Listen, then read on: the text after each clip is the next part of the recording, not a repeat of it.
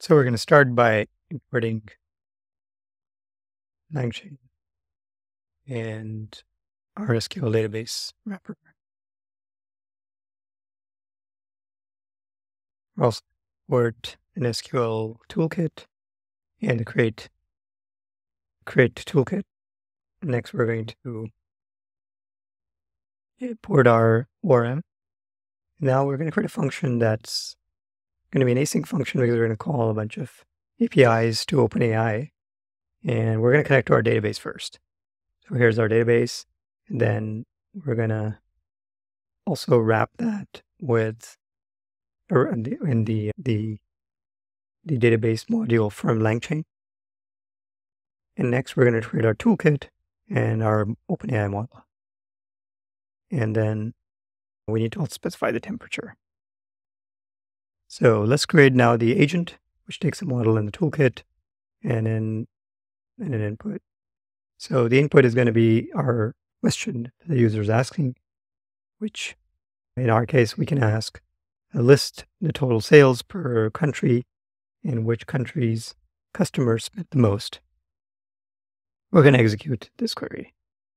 And when we execute it, we also want to see the intermediate steps from the results sorry, I forgot to create the results, the actual execute call here. Here's our execute call. And and then we we call run to run our query. Let's try this node.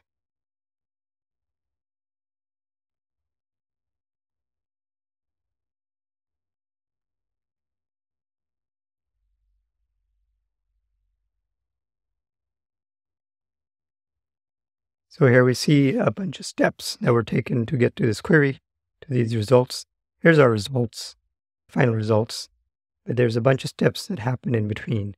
And these include things like looking at what tables are in the database, then getting schema from the database, and selecting which columns are actually running the query to find based on the columns that were found in the database, and eventually our results.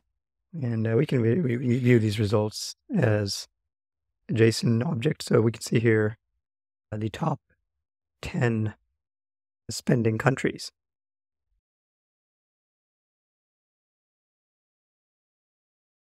Pretty cool.